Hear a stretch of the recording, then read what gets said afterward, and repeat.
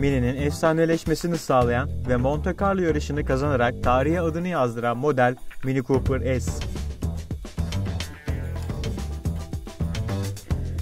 İlk olarak 1963 yılının bahar ayında tanıtılan araç küçük yapısı ve ekonomik motoruyla büyük bir satış başarısı yakaladı. Mini Cooper S kazandığı yarışlarla da başarısını pekiştirdi.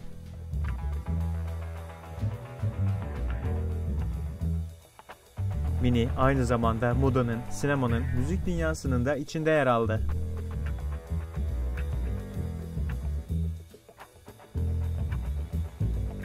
...1969 yapımı The Italian Job filminde hırsızlıkla, Burn Identity filminde kovalama sahnelerinde, Lara Croft Tomb Raider'da garajda diğer klasik otomobillerle birlikte koleksiyonun önemli bir parçası olarak yer aldı.